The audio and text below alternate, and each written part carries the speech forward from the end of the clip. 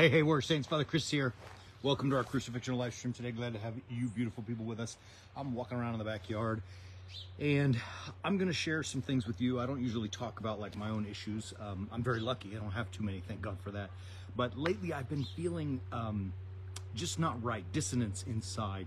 Like not anxiety in the in the sense of needing professional help, but anxious for sure. I mean, like things are just.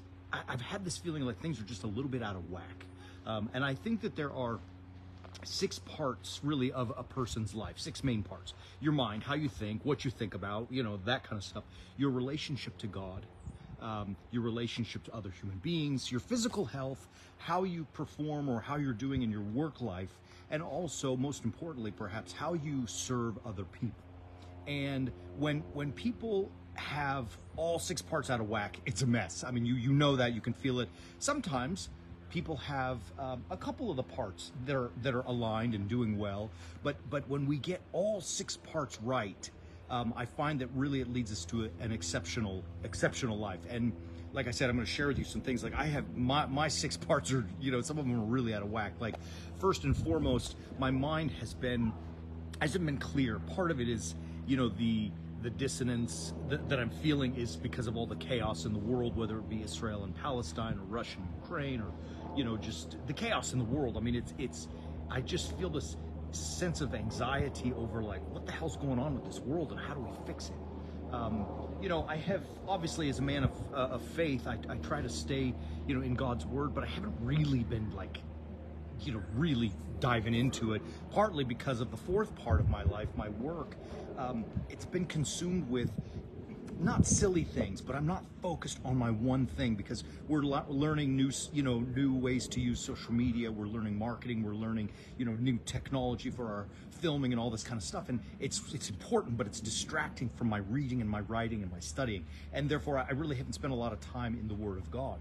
Um, my physical health, I feel just gross, not sick, but like that's self-inflicted. I mean, I've been drinking too much alcohol and smoking too many cigars, and I definitely have not been eating right.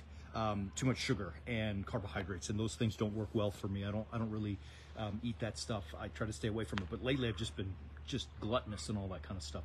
And thank God, at least the the the part with my relationships with my bride and my girls and people around me um, are great. So like I have, you know, that part and my my part of, of serving people in line, but the other four just kind of got out of whack. And I thought about them like, enough.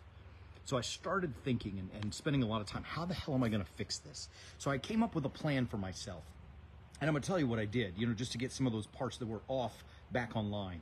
And I came up with something like if I can get all six parts of my life moving in the right direction, my, my mind, my relationship to God, my relationship with other people, including loved ones or people just in the world, my work, my physical health, and my service to others. If I can get those parts right, and even even just moving in the right direction, things are going to change. I got to tell you, I made a plan. I just sat down, I spent a lot of time, and I wrote it out. And um, here's what I did. This morning, I got up early. And after I made my cup of coffee, I just went into my backyard and I sat quietly. No social media, no news. I didn't look at the internet, didn't open my computer, didn't turn on my phone. I just sat there in the quiet. Um, and I was trying to eliminate all the noise, you know, just that we are inundated with in life. Um, and I spent just about 20 minutes, you know, getting some sun, soaking up the vitamin D, but I had quiet and it was awesome. Um, then I, you know, said my prayers which was somehow realigning, recentering. Then I spent about 20 minutes reading Ezekiel. I'm really high on Ezekiel right now. So, but the point, I, I, read scripture and I just did it quietly. I didn't, I didn't play with anything, right? Like I, no social, like I said, no socials, nothing. I just sat there, and I spent that time, and I, it was, it was good, good for me, good for my head, good for my, my connection to God, and, and then I went outside. Uh, I have a gym at the house, and I worked out like a wild banshee. I mean, I'm I'm probably still a little sweaty from it. You know, like, I mean, it was it was a good workout. Um, I went to exhaustion, right? So like all of a sudden, I feel even as I'm filming this better than I did an hour ago, because I'm trying to align my life to get all six parts of my life right. Um, I don't know that ever I will be perfect with them. I mean, who does, right? Whoever gets perfect, and we're not, maybe not even supposed to. But I am working to get those six parts right. How do I get my mind right? So that I don't get lost, you know, like I said at the beginning, the, the dissonance of the chaos in the world. how do I get right with God, right? Like, how do I get to that point where I'm listening to His Word, I'm trying to live His Word. I mean, you know, we spend a lot of time teaching how to understand the Word of God so we can live it. Um, I want to make sure my relationships are right, that, that my marriage is healthy, my relationship with my children, with my spiritual children, with you warrior saints, that it's healthy. Um, I want to be healthy, right? And I want to make sure that the work I do produces good fruit, right? So that I'm not just running around aimlessly, but that I'm focused and I eliminate stuff that gets in the way so that in the final analysis, I am able to do the best that I can to help another person. And I got to tell you, as I said earlier, when, when some of those parts are in line, it, we feel good. When all of them are out of whack, we feel pretty terrible. Once we start to realign them and get them all moving in the right direction, I mean, it's I'm telling you guys, it's huge. It's a it's a beautiful thing. Um, and I'm I'm really glad I sat down and did this little plan. I mean, we, I call it a battle plan because you know I want to win this war within me. I mean, really, the fight is it's in here. It's not out there. Thank God I don't live in Gaza, right? So I don't have to have an actual fight between Palestinians and Israelis. You get it? It's my fight's in here, and I want to get it right. And this battle plan helped me do that.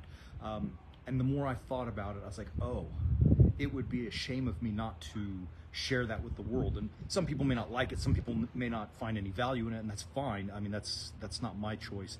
Um, but I'm going to put it out there. So I, I, we're working to put out um, a six-part battle plan, so you can get all six parts of life right. So keep your eyes and ears peeled. Stay tuned for that kind of stuff. Um, I love you guys. I hope you have a great day. Um, I hope we can we can continue this conversation about winning the war within us so that we might get all all of us might get all parts of our lives right so we're on the way moving to good stuff. Love you i'll be back tomorrow. As always keep walking on the way of the warrior saint